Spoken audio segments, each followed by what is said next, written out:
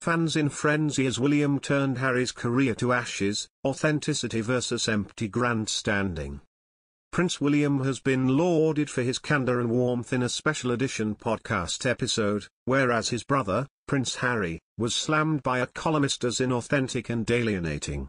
Sarah Vine praised the Duke of Cambridge for passing the ultimate test of a person's character and maturity, achieving industrious authenticity while avoiding the trap of empty grandstanding.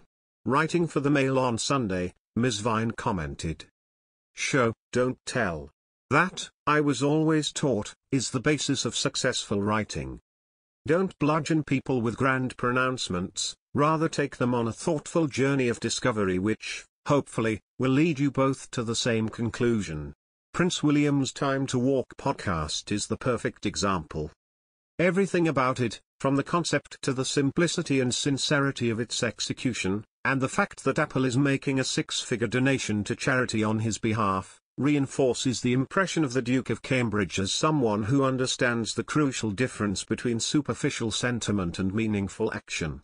By showing, not telling those around you, in his case that includes the millions of British citizens who look to the monarchy for guidance and inspiration, why you deserve your status in life. In just 38 minutes strolling gently through the Norfolk countryside, we learn what so many royal watchers have lately come to sense is true of William.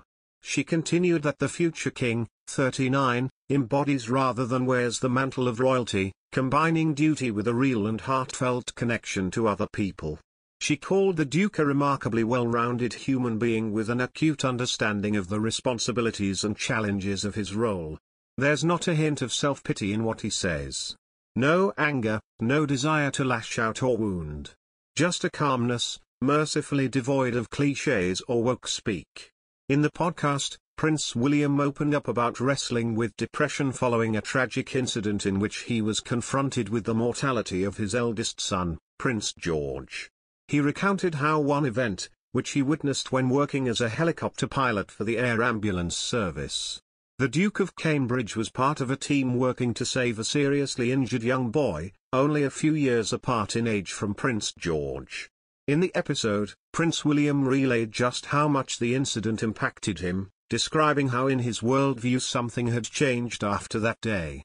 In the prince's detailed recounting of his depressive feelings, which made him feel as if the whole world was dying, the darkness surrounding his thoughts intensified over the following weeks.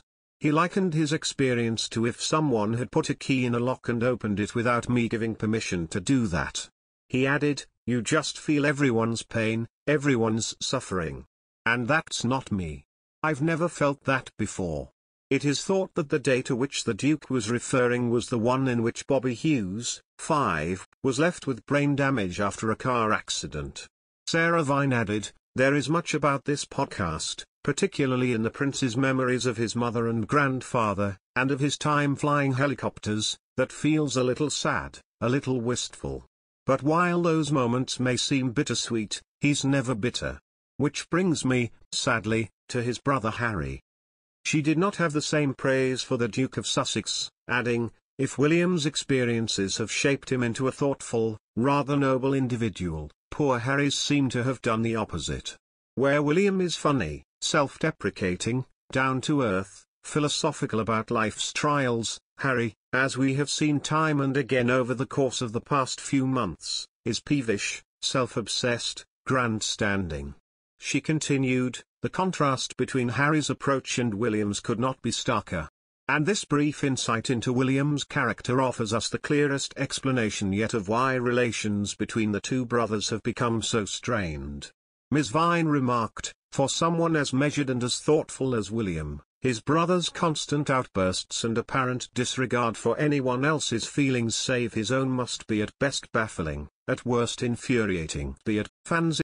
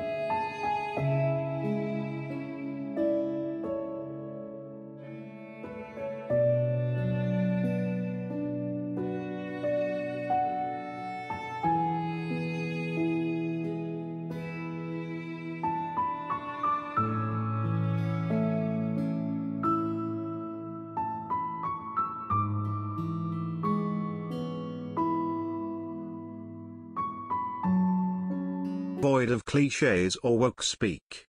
In the podcast, Prince William opened up about wrestling with depression following a tragic incident in which he was confronted with the mortality of his eldest son, Prince George.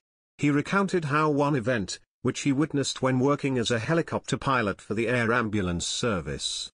The Duke of Cambridge was part of a team working to save a seriously injured young boy, only a few years apart in age from Prince George.